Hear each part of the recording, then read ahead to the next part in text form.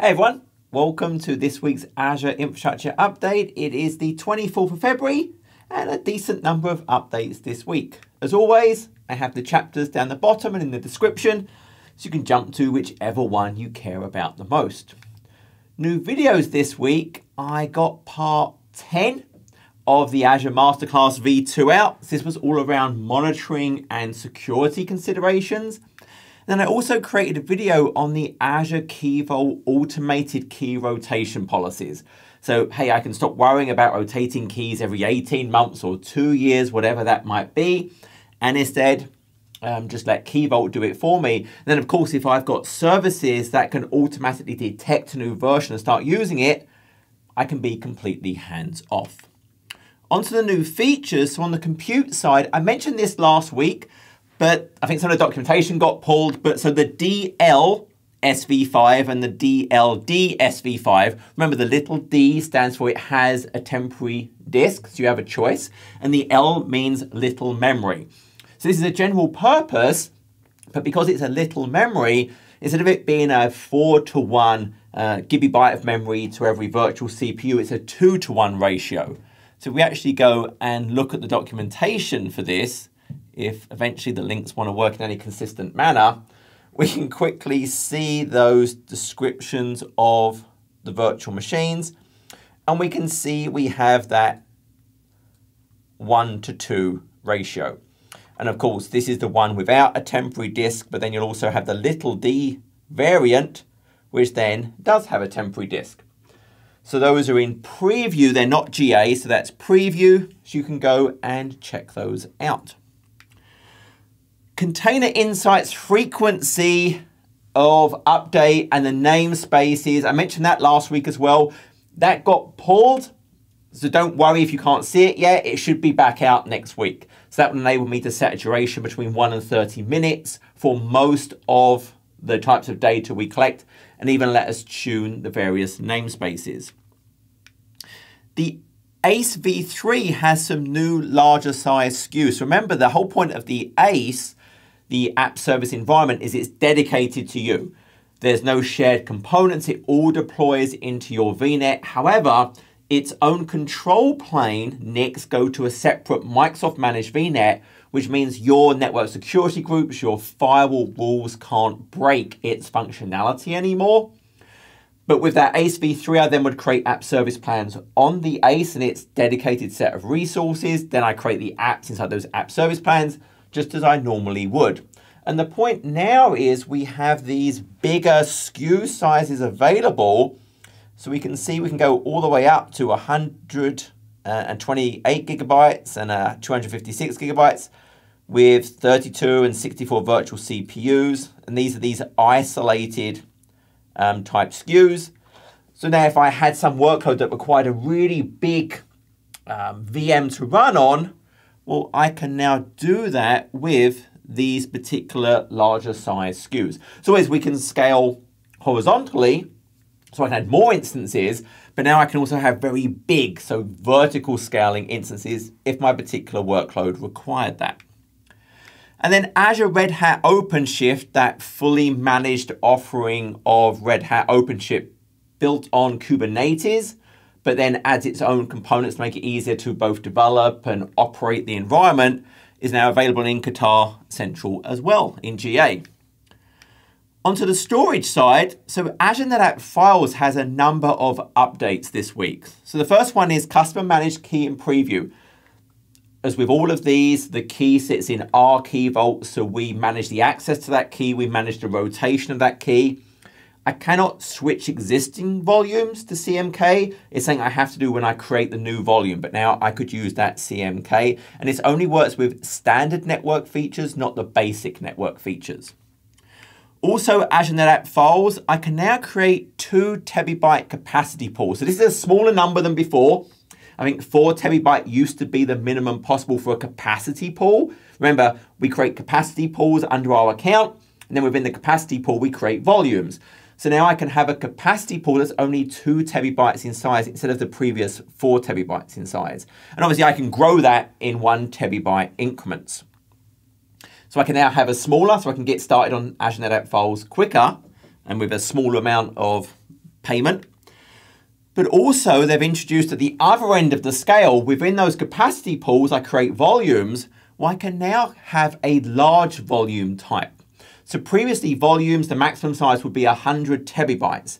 But now if I select this new type of large volume, it can be between 100 and 500 terabytes. It can't be more than 500, it cannot be less than 100, but I can create it within that 100 to 500 terabyte volume uh, area. I can create it across all of the different performance tiers, so I can have that same standard premium ultra, but the performance will be that of a 100 terabyte volume. So it doesn't matter if I create it as 500, its performance will be that of a 100 terabyte volume. So it is important to understand um, that size of it. And also they've introduced the idea of quotas within the volume. So before I could give different users and groups access to the volume and any one of them could fill it up. Now I can also assign user and or group quotas. Now user quotas I can apply on any type of volume, uh, SMB, NFS or dual protocol. Group-based quotas only work on NFS volumes. And the way it will work is I can set a default quota for users and or groups if groups are supported. But I can also create individual user or individual group based quotas for specific individuals or specific groups. Obviously, if they have an individual quota, they will get that quota instead of the default. If I have both a user and group quota that assigns to me because I'm in a group that has a quota and obviously I have an individual, whatever the most restrictive quota is the one that would be applied. So once again, you can go and uh, look at that feature. Azure Data Explorer now has dashboards. Remember, Azure Data Explorer is this very huge scale data ingestion and then querying so I can get analysis using KQL, the Kusto query language of my data. So what dashboards enable me to do is very easily, based on Kusto query language queries, create visual representations. I can create tiles on my dashboard of the data I care about. I can set up an auto refresh, so I can set some specified time interval to go and update the dashboard. Now, remember, every one of those refreshes is going to rerun the query so it's a load on my Azure Data Explorer instance. So I want to balance, hey, how quickly do I want it to refresh with the additional load that I'm hitting against my Data Explorer cluster. But then I can explore that data using the Azure Data Explorer Web UI. I could show data from multiple ADX clusters. I could be exploring data with the web UI and then, hey, I've got some particular visualization or data I care about and pin it to a dashboard. I can export them to JSON and then import them back in to share and create other dashboards, but I can share them directly. So the whole point of these, I can have controls and permissions around these, so I can create a dashboard and then let others leverage it. And then customer managed key encrypted managed disks or snapshots, well, I can now create a disk cross subscription. So I'm not, it has to be in the same Azure AD tenant, but if I've now created some golden image in one subscription I'm encrypting with a customer managed key, well, I can now create disks from that disk or snapshot in other subscriptions, providing I'm in the same Azure AD tenant. And then finally on the storage side, Premium SSD v2. Remember, Premium SSD v2 shifted from that linear capacity and performance to much like Ultra, I can individually tweak the IOPS and the throughput based on whatever I want. Well, it now has incremental snapshot support. So the whole point of incremental snapshots, it only stores the delta between snapshots. Obviously, the first snapshot has to be a full, but then the incrementals will only be the differences between them. And the nice thing about incrementals is it actually saves it to a standard hard disk drive storage. So it's much cheaper than that premium SSD v2. Now, because it's saving it to standard hard disk drive, when I take this snapshot, it triggers a background job to copy the blocks that have changed to that standard hard disk drive. So what that means is there's a lag between, hey, I trigger the snapshot, it has to copy it in the background, and only once that copy is completed could I then actually use the incremental snapshot to create a new disk? So there's a little bit of a lag between creating the snapshot and then being able to create a disk from it because of that background job. Miscellaneous. So for Azure Monitor queries, there are a bunch of client libraries that makes it easy to do these read only operations against Azure Monitor. There are libraries for .NET, for Java, for JavaScript, for Python, and now for Go as well. So if Go is my go-to programming language, pun intended, I can just do a go get for the AZ query. I need AZ identity as well because I have to be able to authenticate to Azure to then be able to perform the queries. So I would get that AZ query and AZ identity module in my code. I would just import them. And then, hey, I just do an authentication. And then I can go and execute the queries and use those results in whatever way I want. But now it's very easy to integrate with that. And then now we have PIM activation has conditional access integration. So remember, privileged identity management is the ability to elevate up to some role only when I need it. So it's just in time and it's only the permissions I need, so it's just enough. And what this integration does is now for my PIM role, I can require a certain authentication context. So authentication context is really a label. And what I could do with that label is I could think about, well, maybe for my SharePoint data, for my sensitivity labels, on my data in Teams, I can tag certain things with requiring this label, this authentication context.